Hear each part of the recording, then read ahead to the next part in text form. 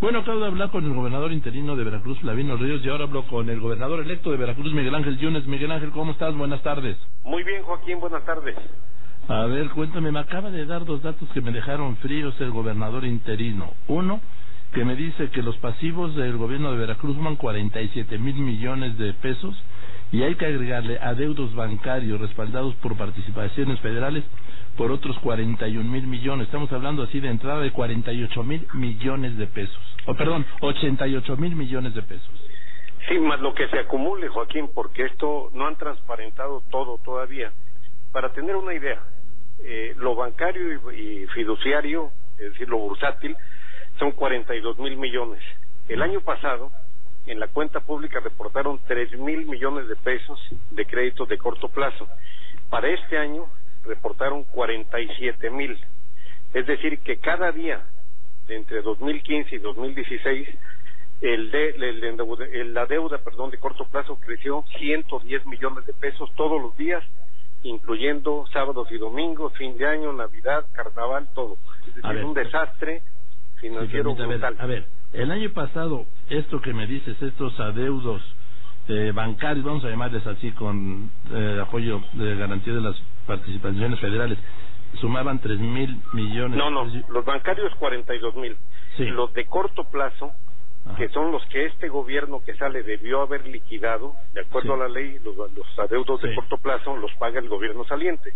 Ellos el año pasado reportaron adeudos de corto plazo por tres mil millones y este año acaban de reportar la semana pasada que crecieron de tres mil a cuarenta y siete mil millones de pesos. ¿Con los de corto plazo?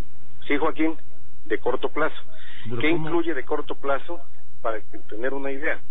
Incluye, por ejemplo, lo que dejaron de pagarle a los municipios, lo que retuvieron a los municipios, adeudos con la universidad, adeudos con la Comisión Federal de Electricidad, diez mil millones de pesos que le deben de impuestos al gobierno federal, al SAT, al ISTE, al sistema de oro para el retiro, incluye adeudos con proveedores, incluye adeudos con instituciones eh, de beneficencia como el Teletón, le deben 160 millones de pesos, 47 mil millones de pesos de créditos de corto plazo que debió haber liquidado el gobierno saliente, porque así lo señala la ley, más los adeudos de largo plazo. A ver, entonces déjame hacer, porque yo ya me pierdo. Me dijo el gobernador interino que son 47 mil millones de pesos de pasivos. De corto plazo. Ah, estos son los de corto plazo. Sí, claro. Ah, déjame apuntar. Más los 42 mil de adeudos bancarios y fiduciarios. que son de largo plazo. O sea, pues estamos hablando, de cualquier modo, estamos hablando de 89 mil millones de pesos. 90 mil, y es lo que te decía, en un año los de corto plazo crecieron a un ritmo de 110 millones diarios. Pero ¿cómo haber pasado el corto plazo de 3 mil a 47 mil? Sí, Joaquín, así está. Ese fue el reporte que recibimos y es lo que provocó que el día de ayer Fitch Ratings volviera a bajar la calificación eh, de los créditos de Veracruz, señalando que había habido un incremento inusitado de los créditos de corto plazo. No es inusitado, lo que pasa es que los quisieron ocultar porque era de tal, de tal magnitud la bancarrota y la responsabilidad que tenían de pagar estos adeudos antes de terminar el gobierno, que lo ocultaron. Cuarenta y tantos mil millones que mantuvieron ahí abajo de la alfombra y que los vinieron a transparentar la semana pasada cuando yo dije cuando yo dije que no recibía el gobierno si no me decían cuánto se debía de corto plazo. Ahora, en tu conversación con el presidente Peña Nieto, ¿le tocaste este tema? Sí, claro, Joaquín. Le toqué el tema y le hablé de la situación de Veracruz, no solo desde la perspectiva económico-financiera, sino desde una perspectiva que en ocasiones no se toca, no se refiere, que es la del problema humano, la del desastre humano, la de la catástrofe humana que se está viviendo, y no exagero cuando utilizo el término. A ver, hoy en los hospitales públicos de Veracruz hay 20% de abasto de medicamentos. Hoy hay más de un millón doscientos mil veracruzanos que no tienen para comer. Estamos perdiendo empleos de manera aceleradísima el problema de inseguridad se ha ido hasta, hasta las nubes. Somos el estado que más creció en delitos de alto impacto. Entonces, el problema de corrupción, de falta de planeación, tiene una dimensión humana que es la que yo quise significar eh, con el presidente y el presidente entendió muy bien la situación. Ahora, lo del dinero, pues lo de las cuentas, ¿cómo le van a hacer? Estamos 90 mil millones de pesos, ¿de dónde? Es imposible, Joaquín, es imposible. El, el, el gobierno de Veracruz no tiene capacidad hoy ni siquiera para pagar sueldos y aguinaldos en diciembre, se requieren 8 mil millones de pesos. Yo he planteado... ¿Perdón? Y, y, el gobierno federal tampoco lo veo soltando 90 mil millones de pesos ahora que está en pleno recorte. No, Joaquín, nosotros no hemos planteado nunca que el gobierno federal nos dé 90 mil millones. Ahí la Secretaría de Hacienda eh, ha querido dar esa impresión cuando lo que nosotros hemos planteado es buscar una solución conjunta a un problema que si efectivamente Hacienda dice yo ya aporté lo que tenía que aportar a Veracruz, pero se tiene que actuar con responsabilidad, Joaquín, y con corresponsabilidad. Somos un Estado federal, Veracruz forma parte de una federación y hoy Veracruz vive una situación de desastre. Eh, yo equiparo lo que vive Veracruz hoy en materia financiera a lo que se vive cuando hay un terremoto, un ciclón. La federación acude en auxilio, en apoyo de un Estado federal. Pues Veracruz hoy vive una situación peor que un terremoto o que un ciclón. Vive un problema que afecta a 8 millones de veracruzanos y que se tiene que resolver porque de otra manera le va a pegar al país. Veracruz es un Estado que aporta el 5% del Producto Interno Bruto, es un Estado que tiene las principales instalaciones estratégicas de este país, es una economía importantísima. Si nosotros no apoyamos a Veracruz y el gobierno federal no apoya a Veracruz, le va a hacer daño a México. Y mira, hay que pensar en lo que ha sucedido, por ejemplo, en la Unión Europea. Cuando cae España, la Unión Europea entra a apoyar a España. España. España, Grecia. Grecia, cuando cae Grecia, la Unión Europea entra a apoyar a Grecia.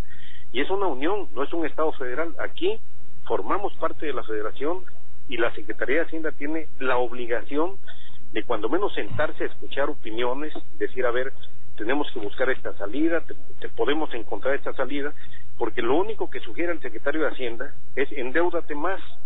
Y yo, en primer lugar, no hay más capacidad de endeudamiento, ya no se puede. Y segundo, desde el punto de vista ético, ¿cómo le voy a decir yo a los veracruzanos, oye, te voy a endeudar con 20 mil más para pagar lo que se robaron las dos administraciones anteriores. Eso no puede ser, los veracruzanos no tienen por qué pagar lo que se robó Fidel Rey y lo que se robó Duarte. bueno, a ver, déjame dos cosas primero. ¿Con cuánto cuánto necesitas para arrancar el gobierno? Me refiero al funcionamiento del gobierno. Y cuando hablo funcionamiento es hospitales, eh, burócratas, pagos, ¿cuál es la cantidad?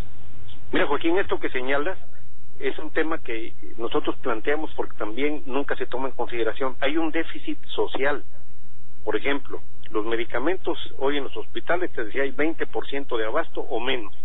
Para llenar las, los, eh, las farmacias de los hospitales y clínicas de Veracruz, que son más de 900, se necesitan 1.500 millones de pesos. Para pagarle a maestros y empleados públicos en diciembre, sueldos, prestaciones, aguinaldo, etcétera, se necesitan entre 6 y 7 mil millones.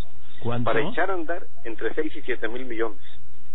Para echar a andar el sistema de seguridad, para tener... Mira, eh, en, en el extremo, en la Secretaría de Finanzas y Planeación no hay una fotocopiadora. En la Secretaría de Educación no hay sistema para dar de alta y de baja a los maestros, porque los proveedores ya pagaron todo. Como les deben todo, simplemente han ido cerrando servicios que prestan al gobierno del Estado. Entonces el gobierno necesita 20, 25 mil millones de pesos para empezar a funcionar. No los pido al gobierno federal que quede claro. Lo que planteo al gobierno federal es que busquemos conjuntamente una solución a un problema que si no se atiende hoy, mañana va a costarle más caro a México. Veracruz forma parte importante de México y no puede decirse simplemente en deuda. Tú tienes, me dijo el secretario de Hacienda, apenas tienes ocupado el 125% de tus participaciones, endeudate más, te puedes ir hasta el 200. Y mi respuesta es no, no es esa la vía, porque si yo me endeudo, cada peso que yo tenga que pagar para amortizar esa deuda, independientemente de la parte ética que ya mencioné, cada peso es un peso que yo dejo de utilizar para comprar medicamentos o para prestar servicios de seguridad pública o para mejorar las condiciones de infraestructura que están afectadísimas en Veracruz. Entonces no puede ser, estamos ah. pagando 5.500 millones de pesos anuales de servicio de la deuda y me piden que me sigan endeudando. Es, carísimo, también que saben qué condiciones habrán contratado la deuda, ¿no? Joaquín, eh, ahí, ahí hay corrupción pues, de muchos ámbitos. Eh, en Veracruz el costo promedio de la deuda es de 7.2% anual contra un promedio nacional de 5.2. Esos dos puntos alguien se los llevó. Alguien. Ahora, eh, mencionabas eh, Javier Duarte, pero también Fidel Herrera. Parece que ya se olvidó lo de Fidel Herrera, ¿no? Pues no se debe olvidar, Joaquín, porque el desastre y todo este saqueo de Veracruz empieza con Fidel Herrera. Eso no puede ser y yo, Joaquín, creo que eso es eh, agraviante no solo para los veracruzanos, sino para los mexicanos, que quien inició el desastre en Veracruz hoy sea cónsul de México en Barcelona, viva en un palacio, viva como rey y simplemente eh, la situación de la, situación que provocó Veracruz, en Veracruz hoy haya estallado y él esté a 12 mil kilómetros de distancia subsidiado por el mexicano. Es injusto y yo por eso lo menciono siempre. Y en Barcelona, digo. En Barcelona, claro. Sí. Ahora, dime una cosa, ¿te creíste la carta de ayer, esta que le atribuyeron, que leyeron en el Congreso? Yo desde el principio la vi que era un cuento local, ¿sí? No, Joaquín, fue una burla. Mira, quien la presentó es un familiar directo de la esposa de Javier Duarte, se llama Jorge Ramírez Tubilla, es uno de los cómplices más importantes de Duarte. Él tuvieron el, el atrevimiento, por no decir descaro, de nombrarlo procurador fiscal del Estado, fue subsecretario de Finanzas, y un hecho que poco se ha mencionado es que la casa que Duarte tiene en Scottsdale, en Arizona, se la vendió a este señor en 10 dólares precisamente para que este señor diera su nombre y lo encubriera. Este Jorge Ramírez Tubilla, que fue quien presentó el documento, pues lo que lo que llevó fue un documento para burlarse de los veracruzanos. Pues la verdad que sí. Esa es la verdad. La verdad que sí, porque vamos, ni en la forma puede entenderse que, que ahora resulta que yo termino ya mi licencia, que yo soy ipso facto al gobernador interino y que asumo las funciones, vamos, eso digo, es eso es una burla, digo, no, es una decisión del Congreso, no de él. No, totalmente. Y el Congreso actuó bien, el Congreso dijo que venga a ratificar y en su caso, si ratifica, el Congreso determinará si regresa o no. No, pues que va a ser, que se va a presentar.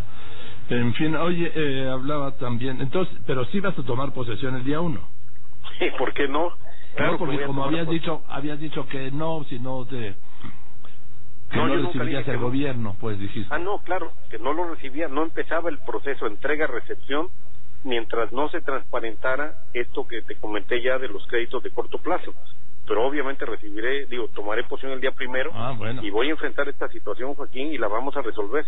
Hoy, en este momento, voy a reunir con los principales empresarios de Veracruz para hablar de la situación del Estado, pero también del aliento que le vamos a dar a Veracruz para que a partir de ya vuelvan las inversiones, vuelva el empleo, vuelva la confianza en Veracruz y eso te aseguro que lo vamos a lograr. La verdad es que un estado tan rico como Veracruz que tiene todo que esté pasando esto. En fin, nada más dime una cosa, ¿sigue en pie tu advertencia, tu anuncio de que vas a hacer un anuncio el día uno que va a sembrar a México? Sí, Joaquín, sigue en pie, pero no es advertencia, simplemente es algo... Bueno, el anuncio. que sí, claro, que se debe decir que es importante que los mexicanos y los veracruzanos lo sepan y que seguramente será muy importante. O sea, sigues en pie de que el día uno vas a hacer un anuncio que va a sembrar a México. Sí, claro. Bueno, pues habrá que esperarlo. ¿Y si va ya ya se activó la, el proceso de entrega-recepción? Sí, Joaquín, se activó el día de ayer en cuanto se dio a conocer el monto de los créditos de corto plazo, se activó el día de ayer y estamos trabajando ya en eso. Bueno, Miguel Ángel, pues seguiremos en contacto porque yo creo que todavía no hemos visto nada de todo lo que vamos a ver en Veracruz. Así es, Joaquín. Muchas gracias. Buenas tardes. Buenas tardes, Miguel Ángel Yunes, gobernador electo de Veracruz.